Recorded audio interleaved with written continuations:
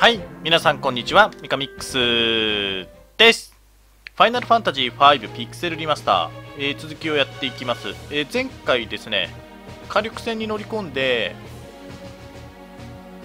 木のクリスタルの爆発を止めようと思ったんだけど、結局城ごと爆発してしまいましたと。で、それがシドのせいです。わっはっはっていう感じのところ。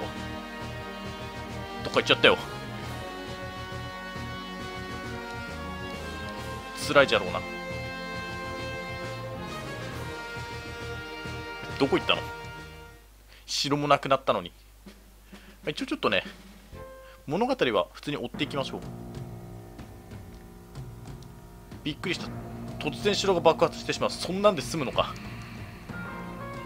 クリスタルが砕け散り闇が世界を覆う。こいつのマジ邪魔くせお城がなくなっちゃった。中にいた兵士とかどうなったの？えー宿屋の2階に運ばれている。あ酒場があるじゃんよく見たら。ピアノ弾こうピアノ。今ピアノを弾いて気分を紛らわす。ピアノ弾きますか？はい。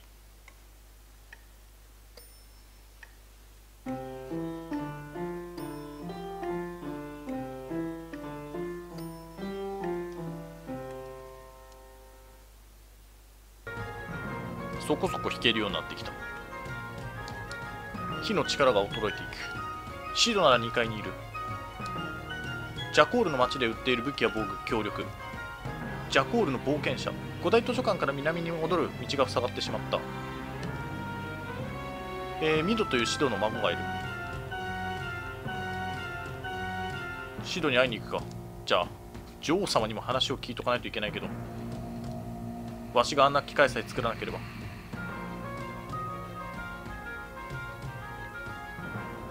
頼む一人にしてくれ。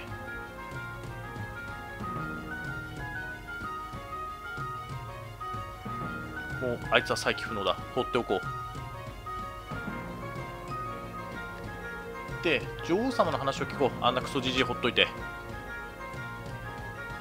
あ大臣がいるじゃん。怪我をしている。怪我で済んだんだ。なんか蝶はみんな怪我をするな。ずっとうなされている。城から脱出した。暗闇が。え？もう普通に古代図書館行けってこと？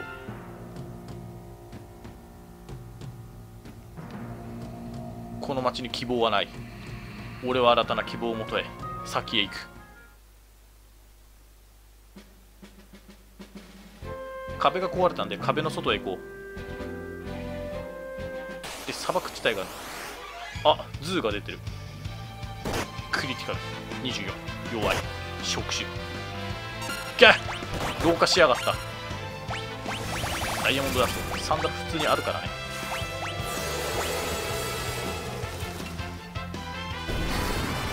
くらい300強い。ガラフどうしようかな。もうあの今のところ文句一辺倒できてるけどちょっと魔法剣士忍者に変えよう。で両手持ちが意味ねえなそうすると。ちょっと待って。せっかく両手持ち覚えたんだから両手持ちを活かせる魔法剣士でいくか。魔法剣士だけどさ全く魔法剣使ってないからね。だったらロットぶん投げた方がまだ強いから。でここで召喚魔法にしておこう。でガラフどうする？ちょっとガラフを忍者にしてみる。じゃあなんで今まで文句にしたのって感じだけどバーサーカー。バーサーカーで暴れてもらおう。でカウンター。これでどうだ？てか武器がなくね。マインゴーシュしかねマインゴーシュ強いのか？そもそも。ここで両手持ちとかあればバーサーカーも生きる気がするけどちょっとマインゴーシュとえっ、とゲハンマーの方が弱えじゃん。あスピアクナイムチギヤマンえー、竜騎士用がある。ただし竜騎士はいない。竜騎士はジャンプっていうロマンがあるよね。かっこいい。それだけ。ただそれだけ。これでガラフは動かさなくて済む。強い513とかてかファリスのマジックパがねえ。ちょもう一回寝よう。行ったり来たりで。申し訳ないけど。赤魔同士はやっぱりちょっとマジックパワーが少ない気がする。まあ、ただ器用貧乏が通じるのが今のうちだけだからね。先へ進むともうレベル3までしか使えないから太刀打ちできなくなる。レベル3が通じてるうちに赤魔同士になる。で本当だったらレナも赤魔同士にして白黒魔プラス何かが良かったけど。まあ魔力の高さを生かしてとりあえず召喚しズー。サンダラ。痛い100強。まあ火力だけだよね。バーサーカーは。でそうだね。そろそろ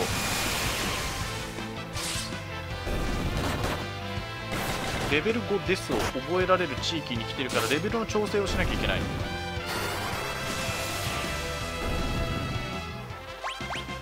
亀の甲羅。何レベルみんな？レベル16だもう5の倍数終わってるし。じゃあレベル20まで上げるか。魔物の巣。ミド。シドの孫。ミドが行方不明。何かの本を探すと言っていた。地下はどうやって行くんだ？ここか。アクアブレスもなちょっとラーニングしておきたいといえばラーニングしておきたいんだけど危険だよな。ちょっと一応行くだけ行ってみよう。でハリスが全体になっちゃってるからシブはは使っておこう。グリザラ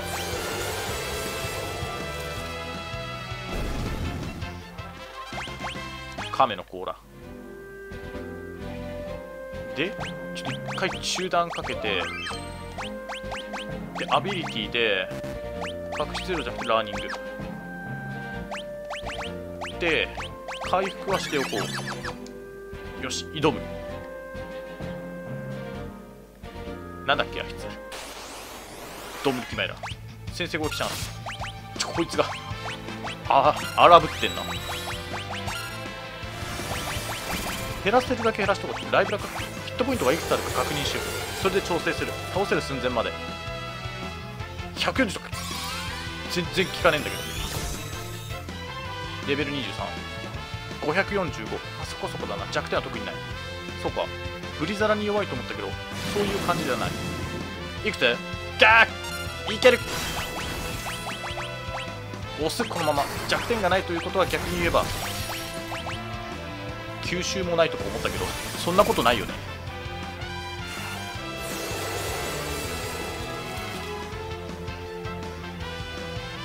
よし倒した。アクアブレスゲット。3持ってんだ。経験値100 100じゃねえ1000か。悪くない。というわけでだいぶ消耗したな。コテージがそこそこあるはずだからちょっとコテージ使うか。2つしかねえ。そこそこなかった。テントも2つしかねえや。これでなんとかしていくか。いやでもレベル5です。ここで欲しいんだよな。ファリスだけ突出してレベル上げさせる？全員倒れて。それでいこう。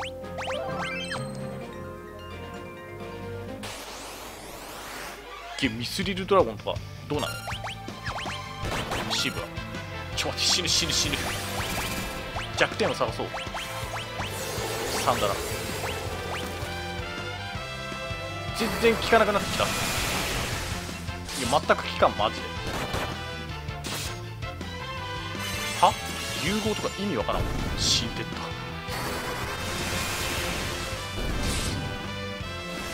た。ダヒアモンドダストもそうか。白魔同士だからどっちかっていうと精神寄りなんだ。だからだ。かといってケアルラ使えないのちょっと痛いからな。いやーやっぱ召喚師に戻そう。ちょっと弱すぎる。白魔法レベル2ロット。魔力を上げる。少しでも。でテントで寝よう。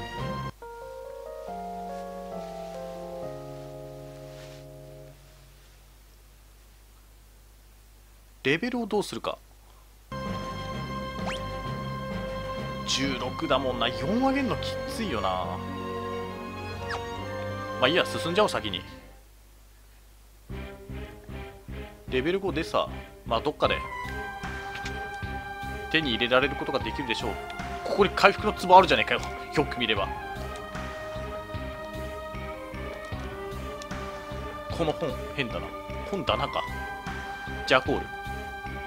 珍しいものが発掘される。何か重要なことが書かれている気がする。ビブロス。一番古い本。半分がない。あれ？いっぱいある。イフリート。魔物の取り付いた本だけを燃やしてくれた。ラーニングした。レベル5です。旅人。タイクーンの住むあの方に差し上げよう。ひどい。32ページ。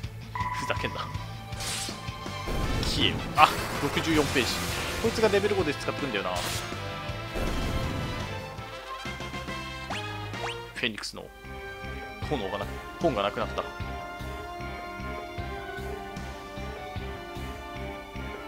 えーと一回回復して。じゃあ行きますか。地下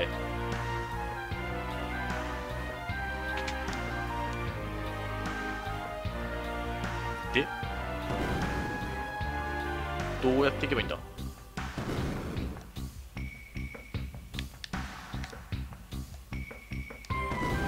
どうなってるこれ？でこっちか。いけねえ。ちょっと待って。なんかスイッチがどこにあるんだかわかんないんだけど。穴が開いた。一応若干暗いけど大して意味なくね。32ページ。あここでも普通にさ出てくるか64ページ。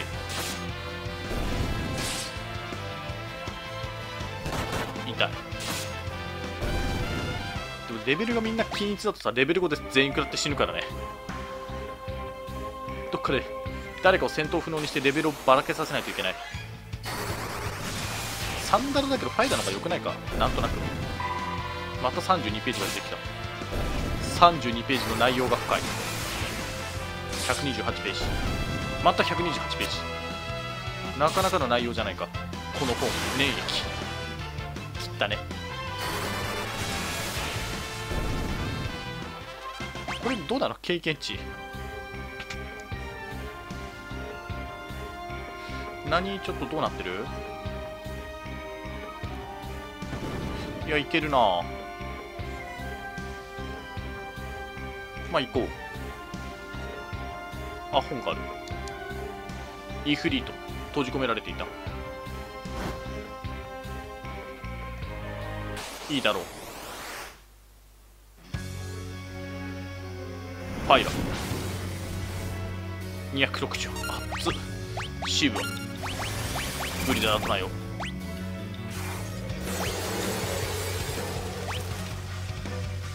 588ファイトもゲー。本当はブリザラ使いたかったけどちょっと回復しないと死んでしまう炎。回復100はマジで1人必要だな。魔法があったんねんだけど。なぜ？まあでもダイヤモンドダストが効いてくれてるから。やるらちょっと待って。ガルフが312やばい。ガルフ攻撃するしかないからな。あとあと396魔法剣。ブリザラ。1274回復が間に合わん。ダイヤモンドダストいけ。参った。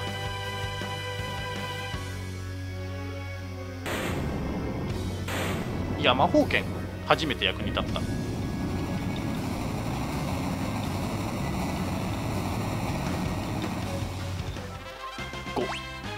カトンの術。召喚獣イフリート。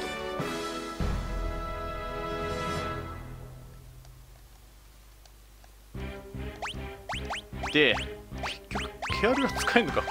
ハリスだけだからな。もうマジックパがね。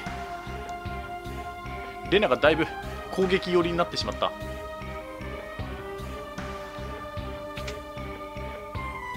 魔力じゃないよね。だってちょっと見よう。精神が。あ違う魔力かでも。魔力62でこれをだから白魔導士にした時に魔力がどれだけいくかだよ。召喚はもう全然いいんだけどな。魔力プラス2、まあ、55かでも。癒しの杖にしようこれ殴った人を回復するからね。モンスター殴るとモンスター回復するから。それだけ気をつけないといけない。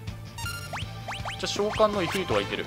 レベル5で早速使って地獄の火炎。630まあまあまあいいでしょう。悪くはない。やるな。もったいねえ。いけ。地獄の火炎。ハリスの。マジックパワーが1回しか。使えん。でエーテルって3個。エフィクサー10個。エフィクサー使おう。わ出てしまった。ここは通さん。イフリートそんなあったな。結局イフリートは取らなきゃいけないっていう。でまさか盾装備できるんだ。完全に回復攻撃要因と思ってたら回避もできる。バッツ両手持ちで一発で倒せないのがちょっと痛いな。微妙に倒せないからね。攻撃要因。ただ256ページ。変なやつが出てきた。硬そうだけど。まだ出てくるの？結構マジックパー使うな。けまだいんのかよ。3回も使ってるよ地獄の火炎どんだけいんの？マジで。燃やし尽くす。アビリティポイント4くれたただ。これだって普通の敵でしょ？えちょっと待って。これ超怪しいんだけど。下へ降りる。戦闘が若干めんどくせえな。だから。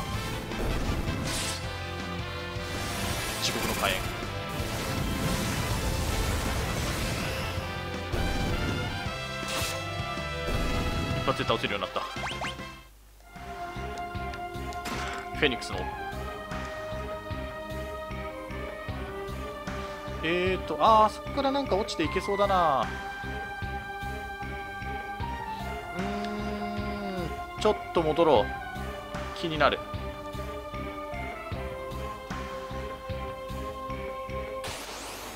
64ページ。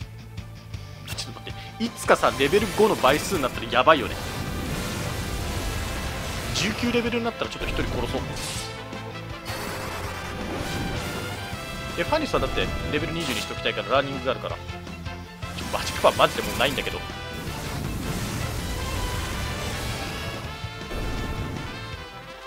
今何レベル？みんな。17か。レナはまだ一発撃てるからな。じゃ落ちれねえやん。意味なかった。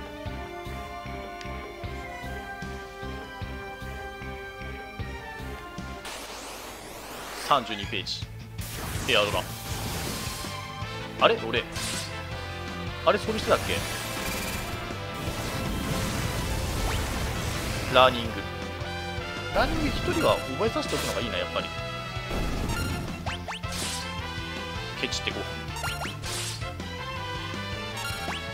う。で殴る。回復。回復量が半端ないからね。ただこれさ普通に攻撃してると敵に攻撃しちゃうんじゃないか？ちょっと試してみよう。エアロラ覚えた。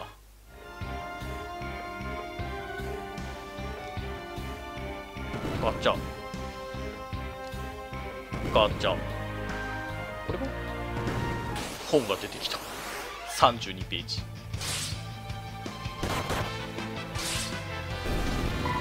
そうだよね。敵に殴っちゃうね。オート戦闘には向かないなえーとマインゴーシュ別に普通だなあどどう来たえ超謎あれもしかしてこの中に入る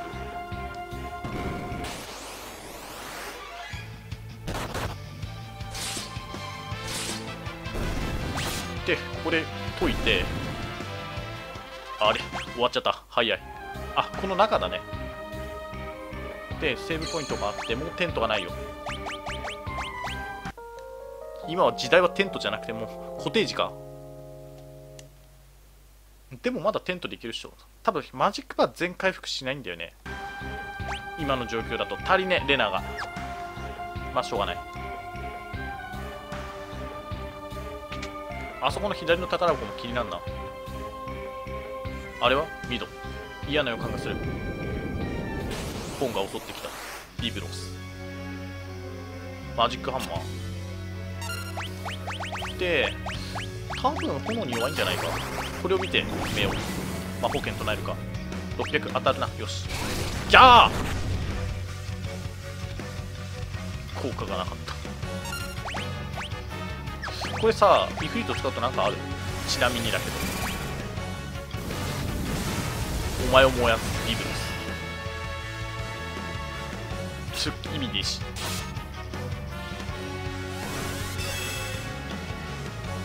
カエルちゃんはさいけめんどくさこいつ。しかもサンダーとか微妙なもん使ってくるな。直すもんがねえな。乙女のキスでとりあえずカエルを直して。でこれさマジックパワーすっげえ減るんだよね。てか半分になるから。で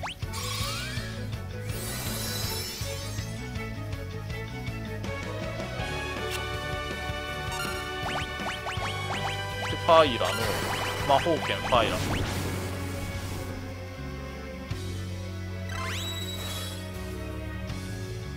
カイオンバいろいろ使ってくんな。レベルが半分なったとか。でレンジとかすげえ使うなマジックパワー。もう一回フリートないとこ。ボス戦になるとさまさか微妙。ドレインいくつ ?190 それなりに吸収半分くらい吸収されるな。弱。やべ死ぬ。105死んだ。やべ強い。やべ死ぬ。ちょっと待ってレイズも使えないし。まずケアルラで回復だな。かまいたち。いや強すぎんだけど。ここまでか。我が種の封印は。空高く解かれる。何かを言って死んでった。ボスは経験値手に入んないからね。アビリティポイントだけちょっともったいないけど言うてもすごい手に入るわけじゃないんで。7プロテストリンク。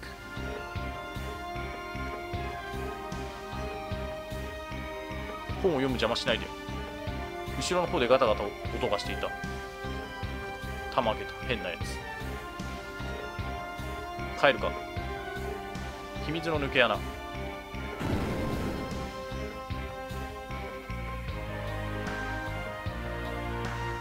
とりあえず回復がしたい。あとレベル5デツが欲しい。無事だったか。助け出してくれてありがとう。俺が遅れてごめんなさいすごい本を見つけた。火力戦を動かせるかもしれない。あ火力戦ってまだ動かなかったんだ。シドは僕のおじいちゃん。研究しててどんな苦しいことがあっても絶対負けないんだ。今のシドは。負けようとしている。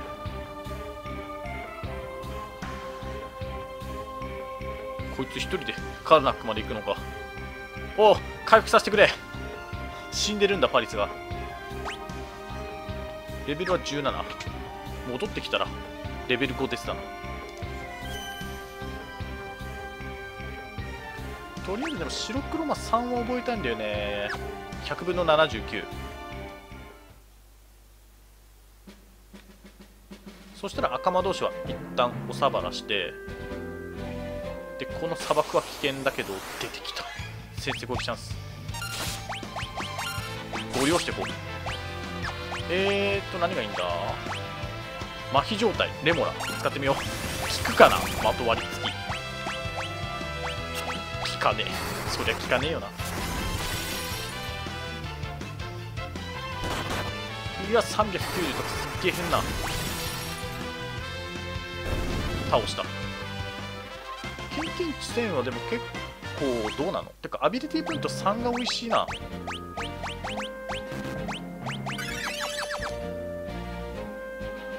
まあ、ただアクアブレスも覚えたことだしアクアブレスって別に属性水じゃないんで。あどこにいんだっけ？2階にいんだっけ？でこいつは味方を殴らないといけない。めんどくさい。本当に。気にしなきゃいけないのがめんどくさい。で白魔法3白魔法3覚えればケアルラが使えるようになるんで一旦召喚師に戻そう。で白魔法。かつ炎のロットは別に魔力上がんないから普通のロットで2階へ行ってシドへ話しかけよう。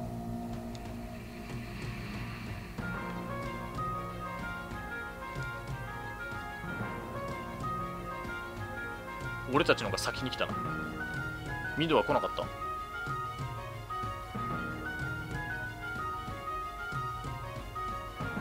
わしはもうダメじゃん。孫はいるけどさシドの子供はいないよね。ミドのお父さんお母さんどうなったんだ？事故で亡くなったのか？殴りすぎだろ。何発殴られてんだ？20発くらい殴られたんじゃないか？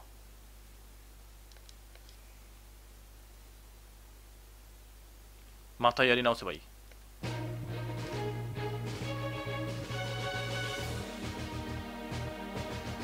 土のクリスタルが火力戦。火力戦を動かさなければ火のクリスタルの力がもうない。動かせない。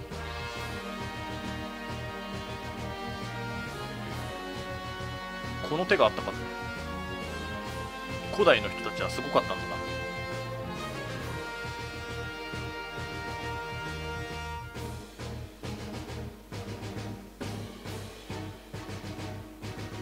バーサーカー外したいなやっぱり。ちょっと微妙感がある。でちょっと変えちゃおうもう。ここで。えーと38溜まってるけどやっぱ微妙だから忍者にすっか？少し火力系だよな。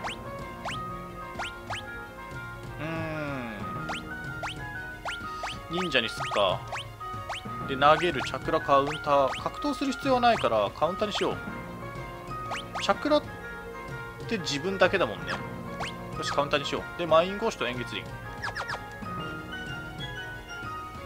で円月輪はね後ろから攻撃してもダメージ下がらないけど2本持ってないんで。あんまり意味がない。シーフだったら一刀流だから後ろに下げる意味があるけど。てかシーフにして盗む？まだいいか。いや悩むな。ちょっと盗むを覚えさせようやっぱり。えーとこれカウンターだな。でマインゴーシュだけど円月輪にして1しか変わんないからで後ろにしよう。円月輪の良さを生かす。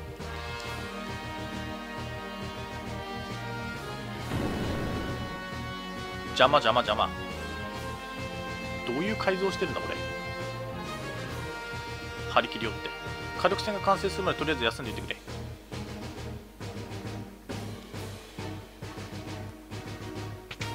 動力は何なんだそもそも椅子1個しかないのガラフどうした様子が変だと思っていた。頭が痛い。何か思い出せそう。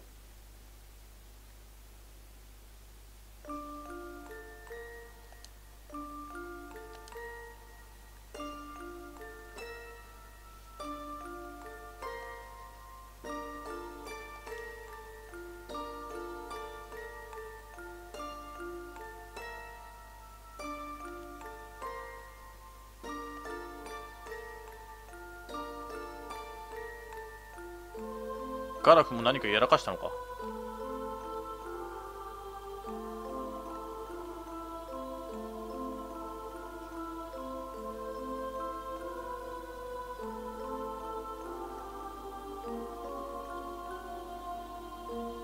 ガラフどうした？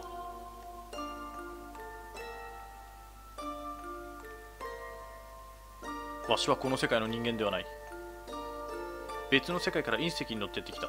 30年前わしらがこの世界に封印した邪悪を蘇らせないために。暗黒魔導士 X です。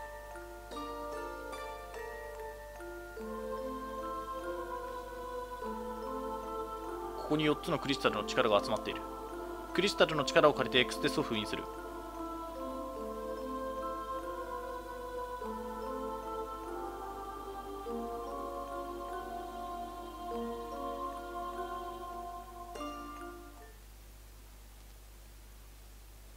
30年前隕石に乗ってこの世界に来た。4つのクリスタルが砕け散れば X デスの封印が解ける。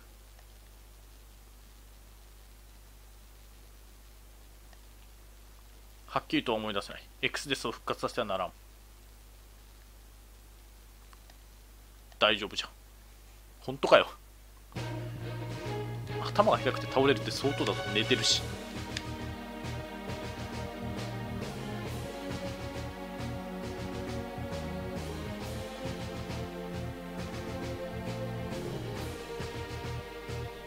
完成した。風がなくても動く船土のクリスタルを探し出す。古代図書館に行く。何か手がかりがあるかもしれない。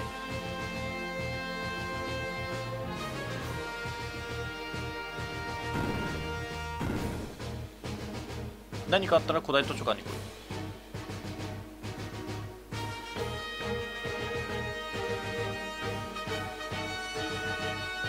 いよし。じゃあ行くか。